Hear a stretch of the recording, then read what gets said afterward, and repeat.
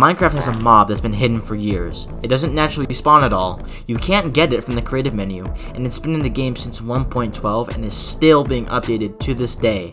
And yet, Mojang still hasn't added them to the game. Meet the Illusioner. Like I said earlier, this guy isn't in the creative menu, with the only way of getting him is through a very specific command. So who is he, and what does he do? The Illusioner is another mob in the Illager family, and as you know, these guys are hostile to villagers and to players, and the Illusioner is no exception from this rule. And I must say, despite the Illusioner literally being hidden behind a command, he is probably right next to the Ender Dragon in how in-depth his attacks are. Like, I'm serious, look. So an Illusioner has a lot of attacks. Its main attack is basically just to shoot a bow at the player, just like a skeleton.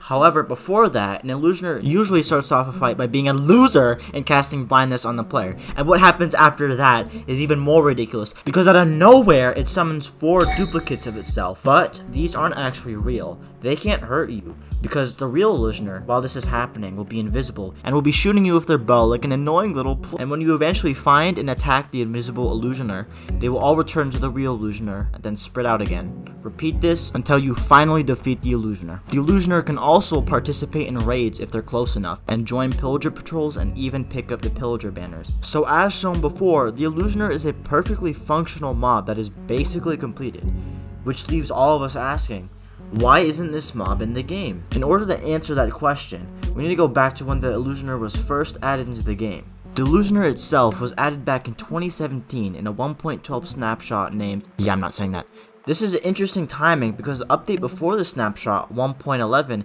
had actually added woodland mansions in the first ever illagers, the Vindicators and the Evokers. So what probably happened is that the Illusioner was meant to be added in the woodland mansions as part of 1.11, but due to how complicated the Illusioner was, it just couldn't make it in time for 1.11. So they pushed it back to 1.12, most likely adding it to woodland mansions as part of the 1.12 update or at least that was supposed to happen because we all know that the 1.12 update eventually released on June 7, 2017 without the Illusioner being added. And as far as I know, there was no reason for the Illusioner not being added in the update. Maybe they just needed more time to polish it and was waiting for the next update.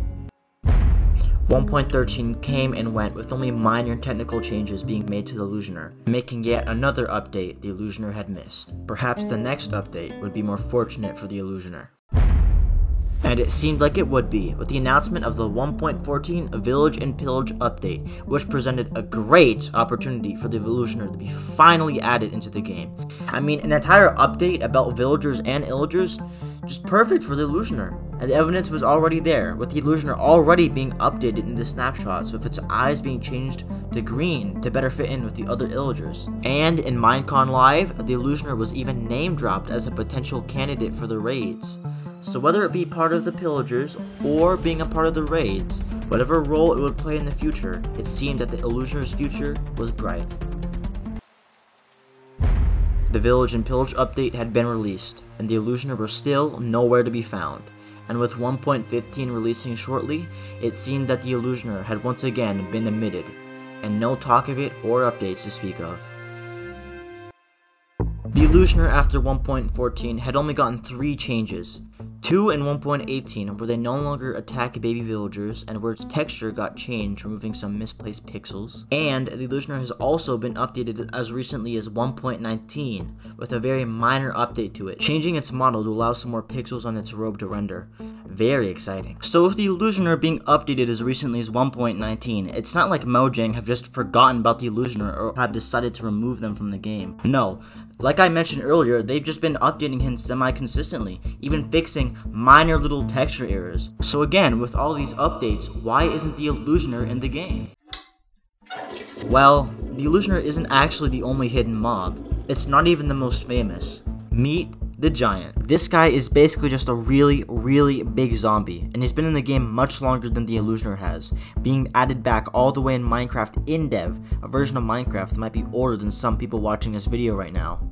Oh god. I could go further into the history of the giant, but that's not the point of this video. Basically, the giant is also in a similar position to the illusioner, being only spawned in by a command. However, unlike the illusioner, the reason why this big boy isn't in the game is obvious. It's extremely unfinished and would require a lot of work to get the giant working properly. This is all while the illusioner is thoroughly fleshed out with different attacks, sound effects, and textures. The illusioner is clearly ready to be put in the game. So for the third time, we ask the question, why hasn't the illusioner been added?